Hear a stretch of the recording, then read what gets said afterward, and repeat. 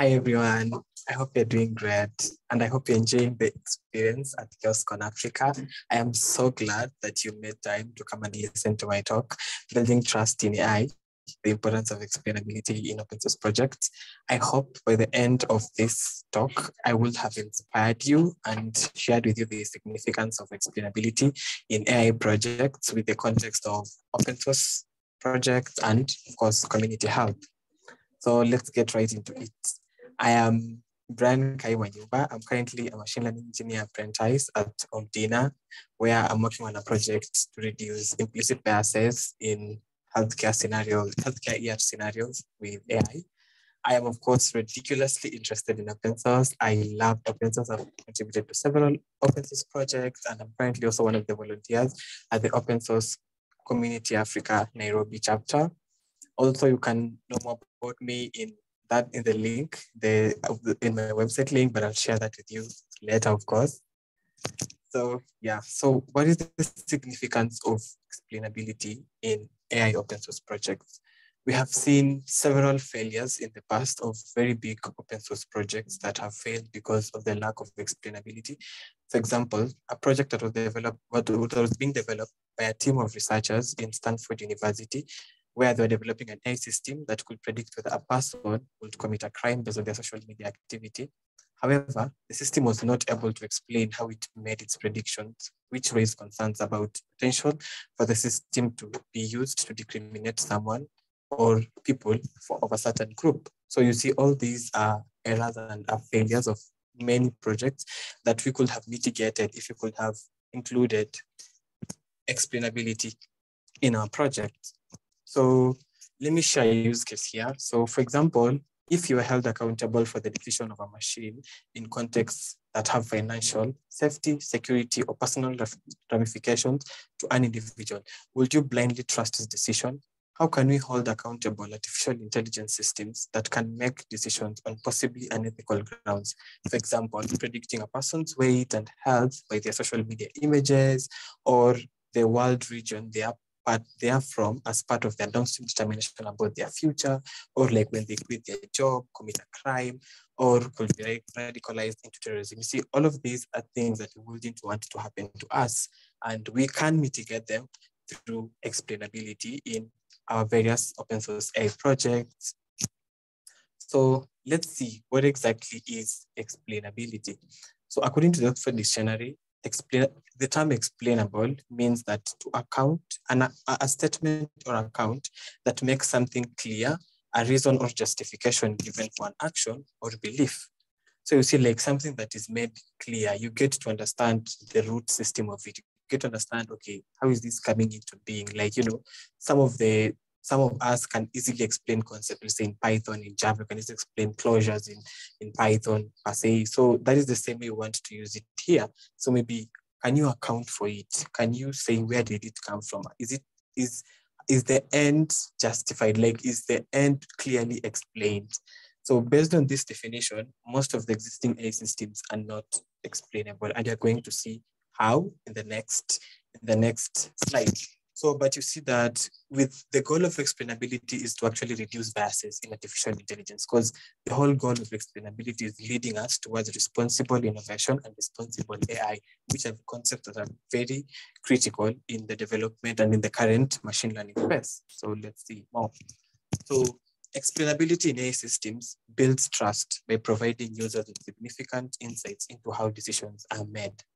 So for examples, for example, explainability in AI increases trust. When users have visibility into the reasoning behind the AI outcomes, they are more likely to trust the system and feel confident in its capabilities. This trust then fosters user adoption and encourages continued engagement within the technology. For let me share an example of this. If you currently ChatGPT is the buzz in the street, like everyone is talking about ChatGPT. So in Zimbabwe, there's a team of builders that came together and they built a ChatGPT version for Zimbabwe. So you see, like once they built such such a thing for Zimbabwe, it can probably understand the local Zimbabwe language and all that.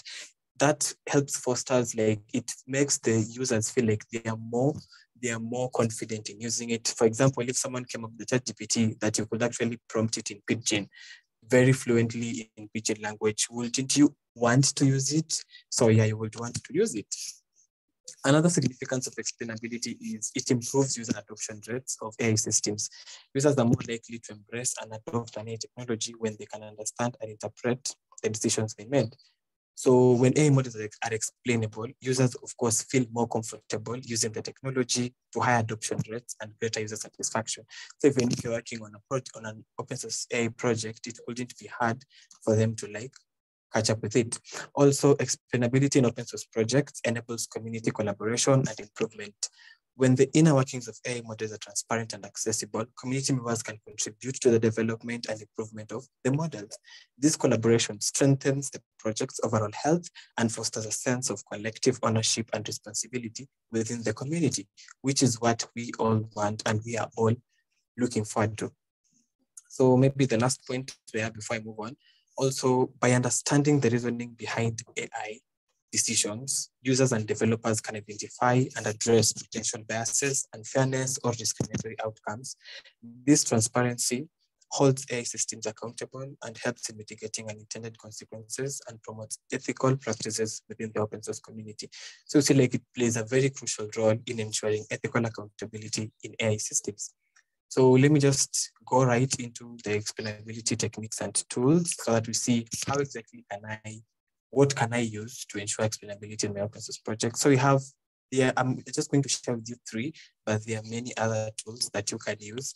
So the first one is rule-based models. With rule-based models, they provide transparency and interpretability by using explicit rules that make decisions. They are widely applicable in open source projects and can be easily understood and modified by the community. A classical example of the rule-based system is the domain-specific expert system that uses rules to make a deduction deductions of choices. For example, an expert system might help a doctor choose the correct diagnosis based on a cluster of symptoms. So those are just that's just a simple example of rule-based models. Another one is feature importance analysis. With feature importance analysis, this helps you in understanding which features or variables have the most significant impact on the model's outputs. With this technique, it allows open source developers to identify key factors driving the model decisions and assess their fairness and bias.